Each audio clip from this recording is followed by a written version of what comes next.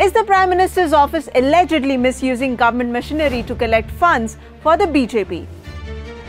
The Quint has found that it would seem so. On 21st October 2020, the Prime Minister's office is alleged to have sent an email blast through no reply at the rate sampark.gov.in with the subject, and I quote, Rajmata was a decisive leader and skilled administrator, says PM. People in rural India get ownership rights of their homes. More in the newsletter. Unquote. When we clicked on this newsletter, we found seven articles on Prime Minister Narendra Modi's progressive work. So far, there was no problem. But when we scrolled down to the end of all seven articles, we saw an advertisement saying, and I quote, support those who put India first, support BJP through micro donations, unquote. When we clicked on the advertisement, it took us to another page saying, and I quote, your contribution is a great way to express support to the BJP. It will enhance the determination of lakhs of Karyakartas towards building a new India unquote. And below this, there were options for donations ranging from 5 rupees to 1000 rupees.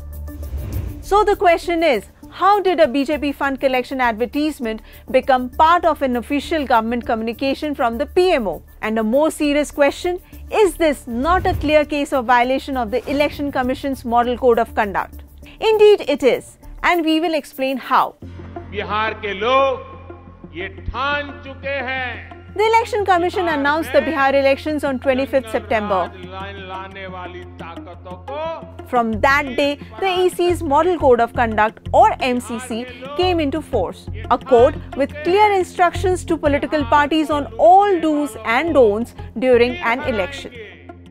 Chapter 7 of the MCC is on Party in Power, where it clearly says, and I quote, government transportation including official aircraft, vehicles, machinery and personnel shall not be used for furtherance of the interest of the party in power. Unquote. Since the sampark.gov.in email was sent by the PMO on 21st October 2020 when the model code was in effect in Bihar, it is a case of MCC violation.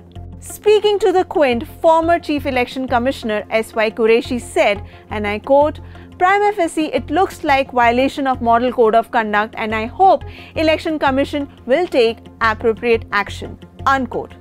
While former Chief Information Commissioner Wajahat Habibullah said, and I quote, there are constitutional and legal restrictions on actions of this nature.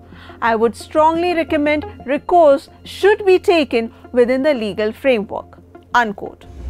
We spoke to a few legal experts as well to check if this amounted to an abuse of the Prime Minister's office. This is what senior advocate Rajiv Dhawan said. And I quote, It is constitutionally improper for the Prime Minister of India using his authority to ask for collections for his party. Effectively, it becomes an exercise of executive power by the Prime Minister in favor of a political party and it is arbitrary and unreasonable. If every Prime Minister and Minister start doing this, the election process itself will be threatened. Unquote. In fact, here let's rewind to June 1975 when the Allahabad High Court found the then Prime Minister Indira Gandhi guilty of misusing government machinery for her election campaign. The court ruled that Indira Gandhi had committed corrupt practice under Section 123.7 of the Representation of People Act 1951. Why?